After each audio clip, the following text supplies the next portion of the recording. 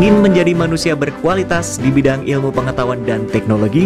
Bergabunglah dengan Universitas Muhammadiyah Surakarta. UMS Internationally Recognized University.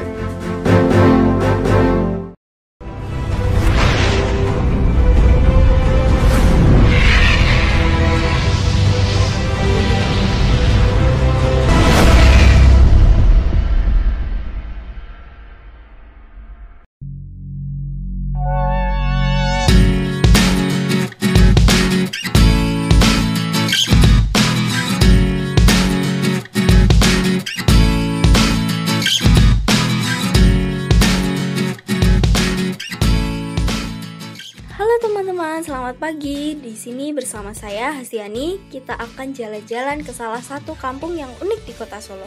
Penasaran kan? Yuk.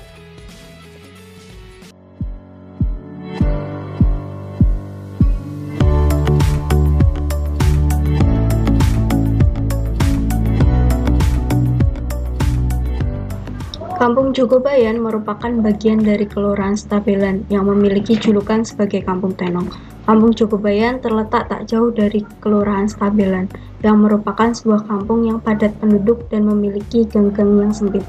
Namun dari sinilah sebutan Gang Tenong muncul dan melekat pada Kampung Jogobayan. Salah seorang pegiat tenongan di Kampung Jogobayan adalah Bu Endang. Selain menjadi ketua RT, Ibu Endang juga merupakan ketua paguyuban penggerak tenongan di Kampung Jogobayan yang diberi nama Berkah Pawon.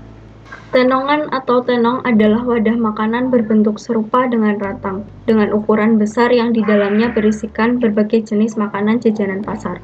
Tenongan sendiri oleh masyarakat Jogobayan sudah dikenal sejak lama, yaitu sudah selama tiga generasi. Berikut adalah tujuan diadakannya berkah pawon.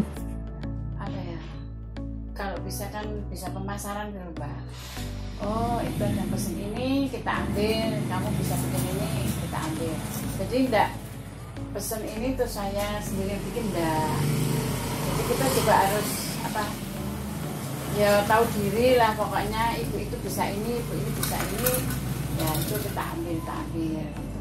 Salah satu kegiatan berkah pawon adalah pengadaan pelatihan memasak sebagai bekal ilmu bagi anggota berkah pawon.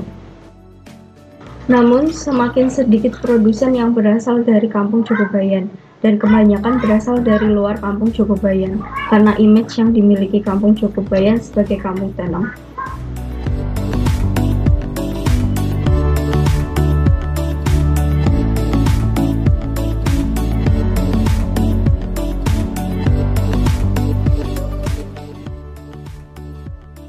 Untuk mempertahankan eksistensi Tenongan, Berkah Pawon mengadakan kegiatan tahunan berupa Bazar Ramadan dengan membuka stand-stand kecil di persimpangan Jalan Kampung Jogobayan.